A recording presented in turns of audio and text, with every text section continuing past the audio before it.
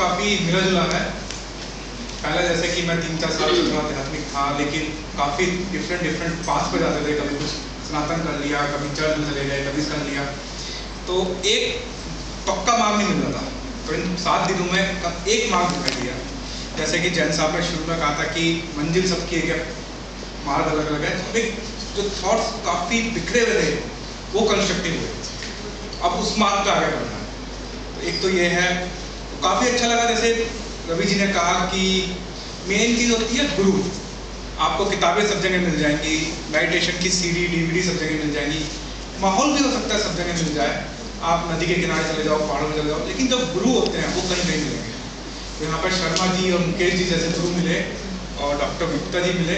इनका मैं मतलब स्पेशल बोलना चाहूँगा कि इन लोगों के पीछे हम यहाँ पे आना चाहिए। गुरु मेन चीज़ है। तो साधना के अगर कल ये लोग यहाँ से किसी दूसरे केंद्र में चले जाए तो मैं दूसरे केंद्र में आना पसंद करूँगा।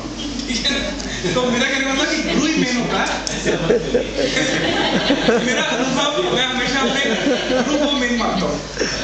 तो विशेष था thank you so much for all और अनुभव यही है कि इसी मार्ग पर मैं आगे चलना पसंद करूँगा। तो बाकी थॉट्स थे डिफरेंट डिफरेंट उनको कंसेप्ट करके इस पर लेके आएँगे।